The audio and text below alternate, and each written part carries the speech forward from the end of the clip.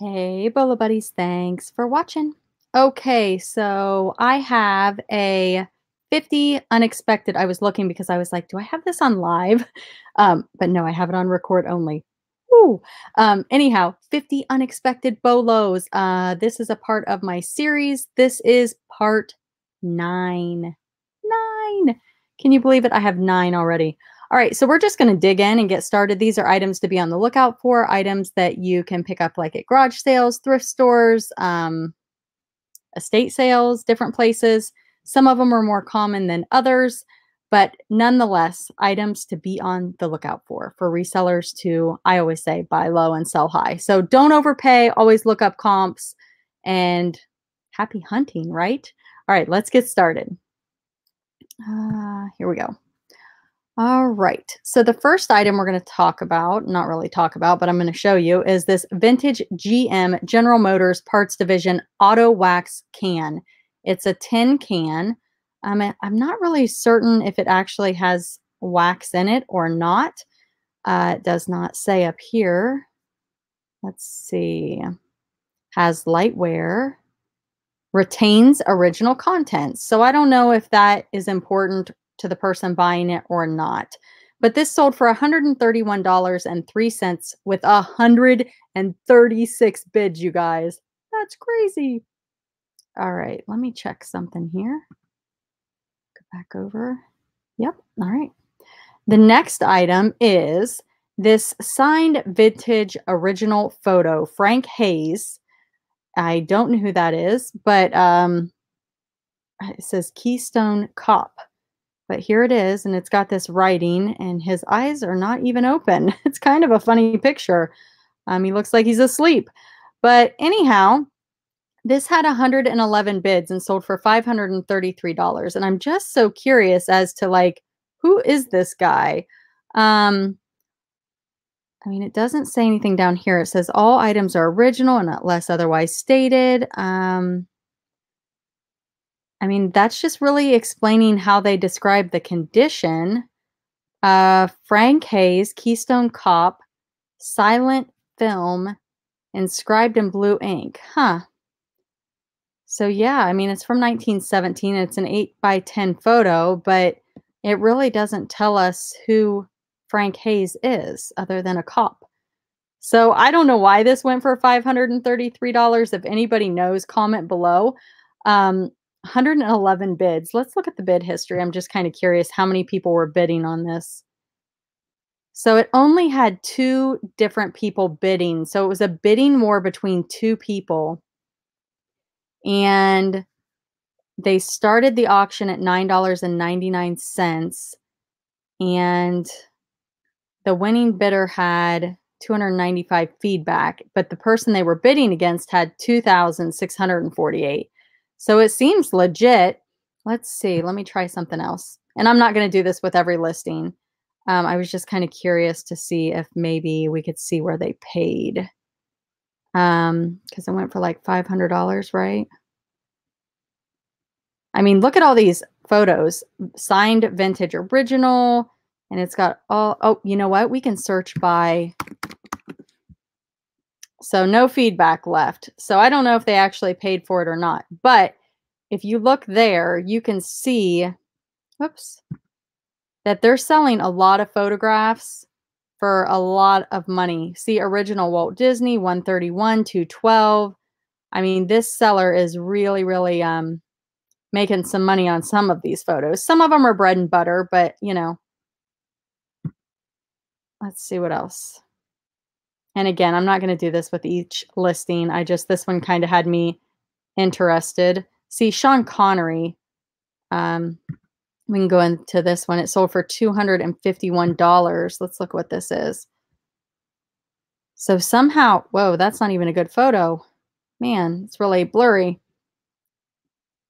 So pretty cool. I don't know where this person gets their stuff, but pretty neat. Okay, the next item are these large Dawn and Friends lot of nine dolls with their outfits, shoes, and accessories. And here's what they look like.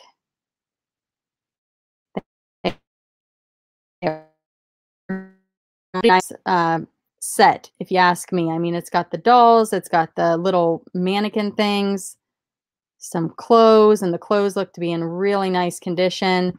I'm wondering if the seller would have parted this out, would they have made more?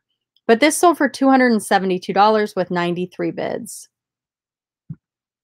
The next item is this um, Ford Vintage Original Auto Parts OEM. Uh, it looks like a mirror. Like a, would it be a rear view mirror? Is that what those are called? So 91 bids on this, you guys, and it sold for $200 plus shipping. The next item is this rare vintage Dolmar CK chainsaw. So this thing's really old and probably a big pain to ship, but it looks like if um, it's in Virginia, and I think this is the shipping as if it were coming to my state, which is Ohio, pretty close to Virginia. I mean, not super close, but not far. Um, it's not like Ohio to California, I guess I should say. But uh, this sold for $750 with 87 bids. And if I would have bought it, I think I would have had to have paid $130 shipping. So you're looking at about a $1,000 chainsaw. Pretty crazy. The next item is this vintage yellow tulip etched frosted Pyrex square baking dish. I like to pull up Pyrex when I see it because I know there's a lot of people that look for Pyrex and some of it's not worth much. I have a video on Pyrex if you guys want to check that out. But um, this one sold for $195. So this would be a piece that you'd want to look for. It had 86 bids. And there's the bottom. The next item is this salt and pepper shaker. Um, they're the cartoons and it says Schmo. I don't know what Schmo is, but this is what they look like.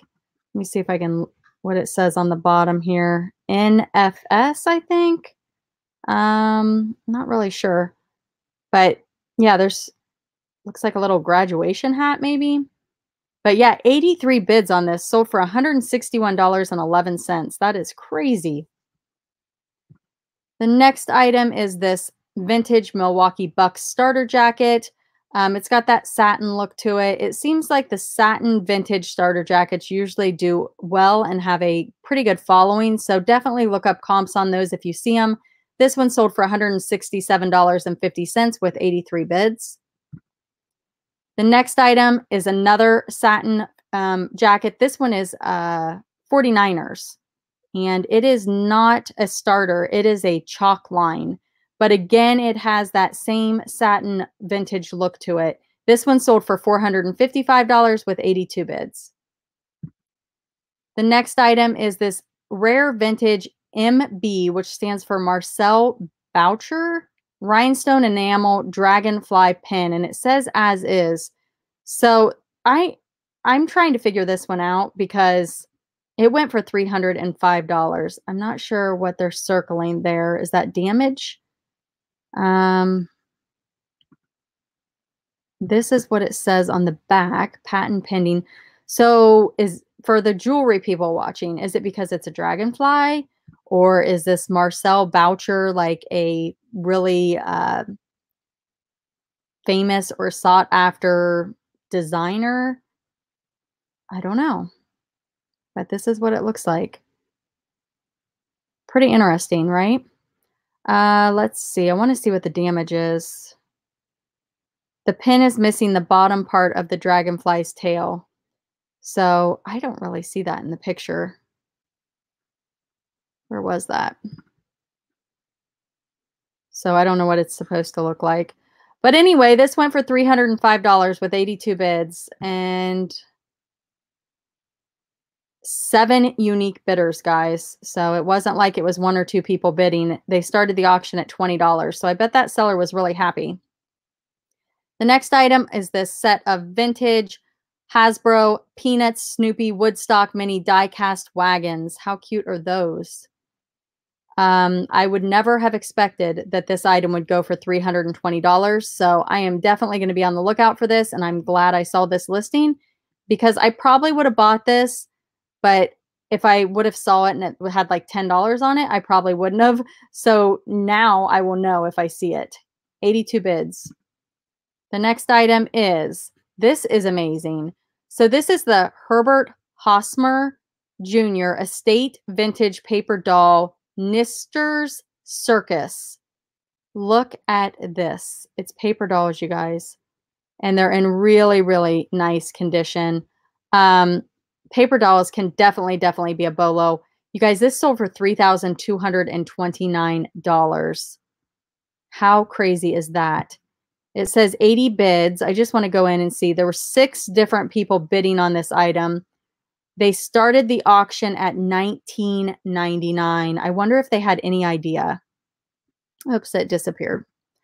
All right, the next item is this vintage 1970s Aurora AFX 1955 Chevy Hot Rod Hot Rod scale slot car.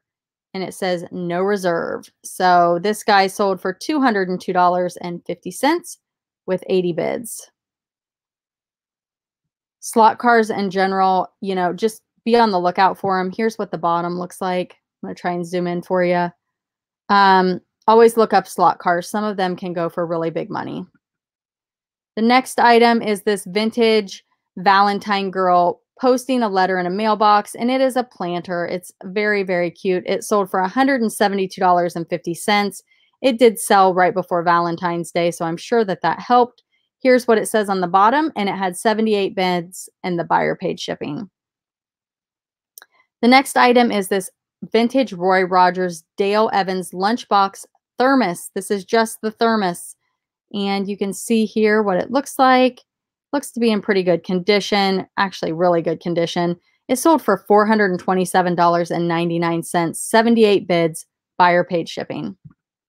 The next item is this men, man's, not men's, man's, man's fragrance, vintage Jean Patou pour. I don't know. Home, home. I don't know. It's some sort of splash. It's four ounce splash. It's 90% full. And this sold for $347.89. 77 bids plus shipping. And you do have to ship um, perfume and cologne ground. The next item is this Thundercat Stinger from 1985. It's 99% complete. This sold for $379 with 76 bids plus shipping. The next item is this rare vintage Howdy Doody puppets, and it's a theater set. And you can see here, it's got the little um, place where you put the puppets behind it, and then you got all the little puppets. So really, really cute. Sold for $228.50 with 75 bids, and the buyer paid shipping. The next item is this gorgeous country farmhouse vintage double wedding ring butter midnight old quilt. So from what I understand, all of these quilts have patterns and the patterns have names. So if you see a pattern, I'm not sure how to look up quilt patterns, but it probably is not too hard. But this one sold for $152.50 and 75 bids buyer paid shipping. The next item are these vintage Tandy leather craft tool stamps. 150 plus stamps, two alphabet set stamps.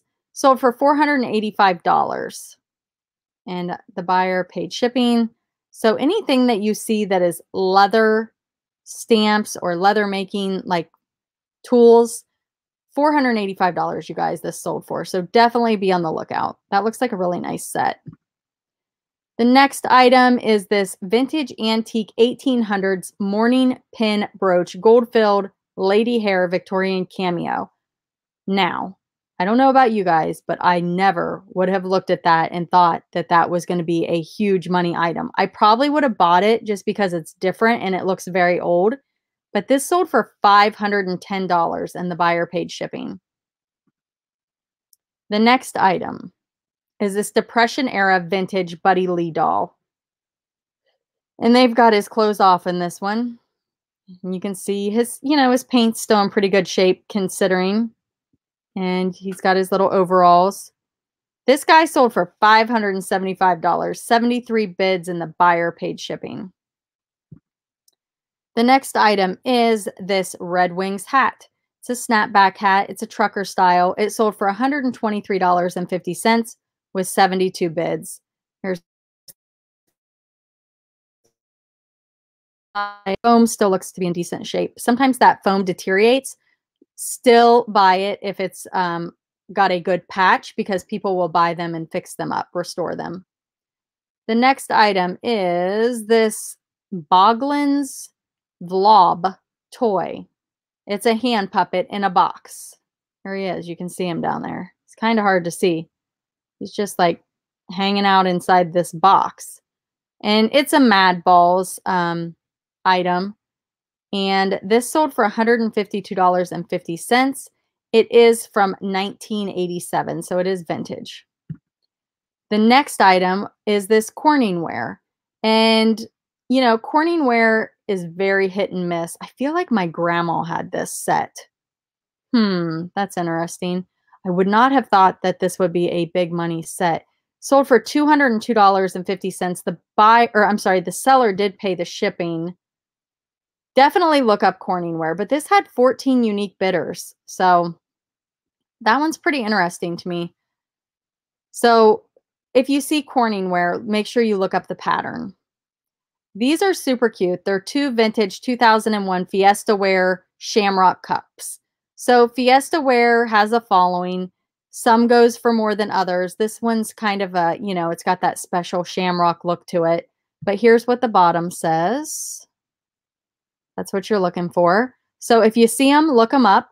This one had 72 bids. It sold for $100 and the buyer paid the shipping. The next item is this vintage CSE inventory calculator.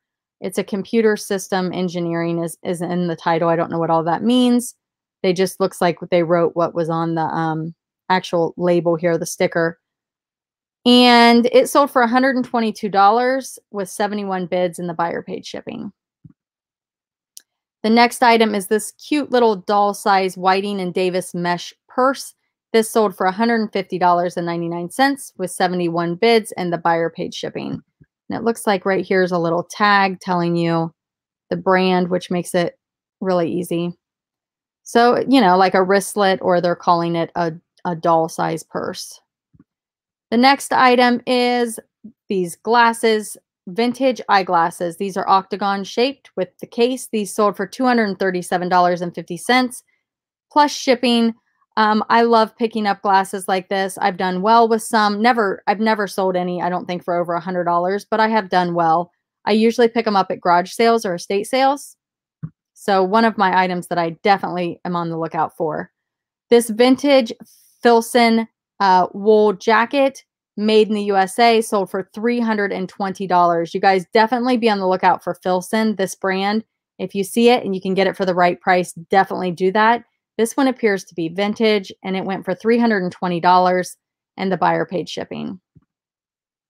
The next item are these vintage lot of pirates. They're mini Lego figures. Look how many there are. That is a lot of pirates. So yeah, um, $373 this went for with 70 bids and the buyer paid shipping. The next item is this vintage old Vaseline uranium glass piano. Um, I did share this one in my Bolo Buddies Facebook group. If you guys are not in that group, definitely join it. I drop links to active auctions so that we can all watch them together and learn about different Bolo items. This one sold for $391, 70 bids, and the buyer paid shipping. This vintage Motorola Motorola brick cell phone. I think I also shared this one in my Facebook group.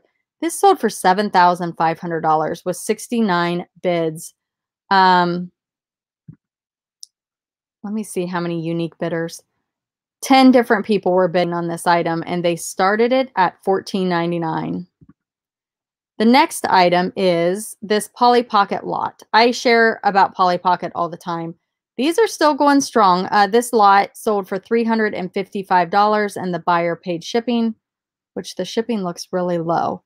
Um, but sometimes people do that. They'll put like a, a lower shipping price to just get like re recoup some of the money and then they cover the rest.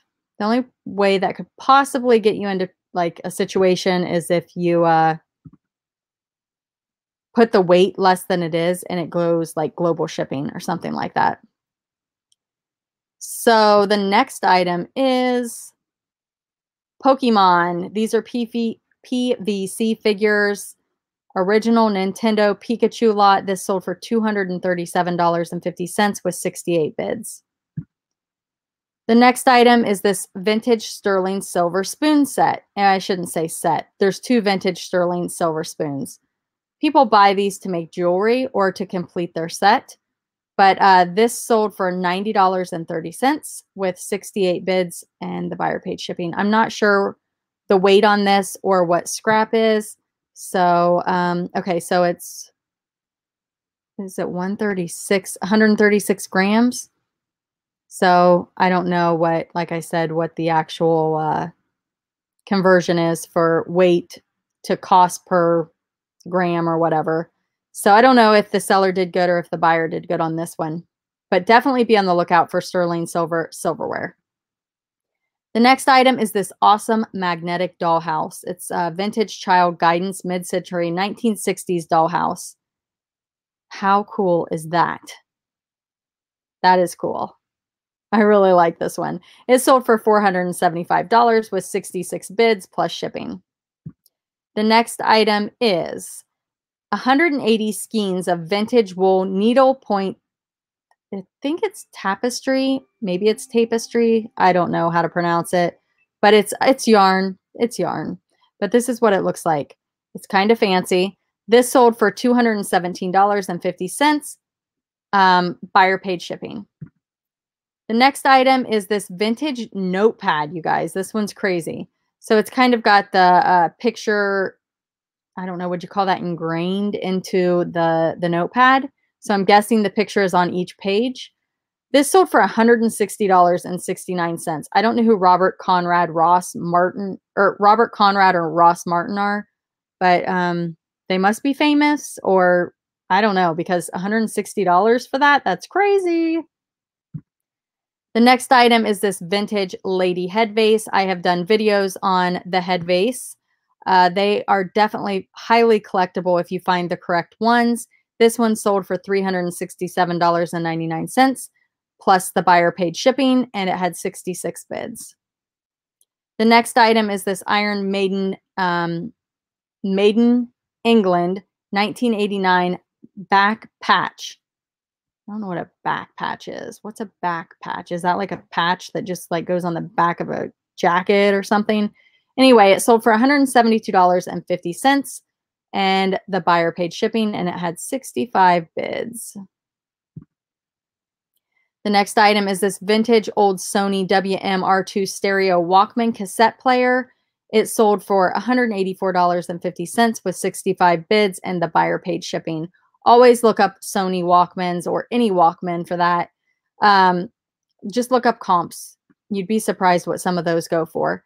Vintage love letters from 1919 and 1920. They are antique, handwritten. These sold for $100, 64 bids, and the buyer paid shipping. The next item is this vintage Catalin Bakelite trophy base. You guys, it's 24 ounces. This is a trophy base. I'm not sure about this one why it went for so much. It went for $1,900, you guys. It says 64 bids. Um, 15 unique bidders. There are a lot of ones and zeros, but the winner had 149 feedback. Seller started that at 29.95. So I am not clear as to why this went for so much. I know that Bakelite is collectible, but $1,900? Nice marbled example of Catlin, holes drilled in mount trophies. It weighs 24 ounces. I don't know, pretty interesting. And they got a lot of feedback. I was going to see if we could look it up. Oh, you know what? Let's try this. I, I keep remembering that they have that new uh, where you can search feedback. I love it. There it is, you guys. Thank you. Good seller and fast shipping. $1,900 for that, you guys. But here's the thing. Look at this. Oh, this is a different one. So this bowling trophy only went for $29.95. So that is crazy. Crazy, crazy. The next item is this vintage Cutco eight piece knife set, wall hanger, and case. Sold for $226 with 64 bids. Buyer paid shipping. The next item is sterling silver whistle. It works. It's a charm. It's old. It's sold for $142 with 63 bids. That is cute, cute, cute. I love it. That'd be like just a, an adorable necklace. The next item is these broken, damaged Japanese chef's kitchen knife, vintage Japan, Hoko, H O C H O, maybe. I'm not really sure. But these sold for $92 with 63 bids, and the buyer paid shipping. And look at the condition, you guys. Horrible condition. I don't even know if you can fix those. The next item is this vintage 1976 McDonald's Zippo. There it is. Sold for $461, 62 bids. Zippos can be highly collectible. Definitely be on the lookout and look up look up Zippos if you see them. These Hummels, I don't know much about Hummels. I feel like every time I see one and think it's a Hummel, it ends up being um what do you call it? like a knockoff, a fake. But see this, I'm that's why I'm trying to look at the markings here. I don't know what this is. But uh says Germany. Um Okay. So there's some of the markings you can be on the lookout for. Just be careful because like I said, I've I've seen things that look like them and they're not. The next item is this vintage Fun World Fearsome Faces Scream 2 mask. These can go for big money. Um, there's different generations, and this one doesn't say the generation. So I'm surprised. Let me see if I can. Yeah, they didn't put, but it does say Scream 2.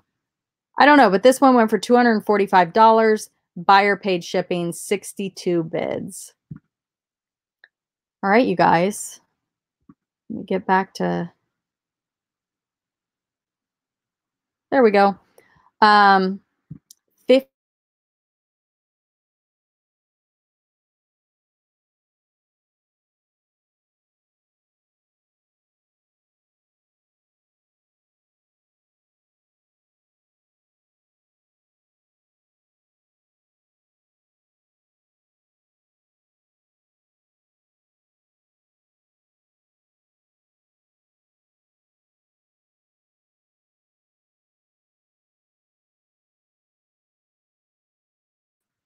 Okay, we're still counting down. Sorry, I accidentally closed the tab, so I'm not sure what that's going to look like. but I'm back, and it's still counting down. So 50 unexpected bolos, you guys. What do you think? Um, be sure to like, comment, subscribe, and share. Uh, the subscribe button is boop right there. The share button somewhere over there also. So if you guys can share that out, that would be great. Thanks for watching. Have an awesome day, and I'll see you real soon.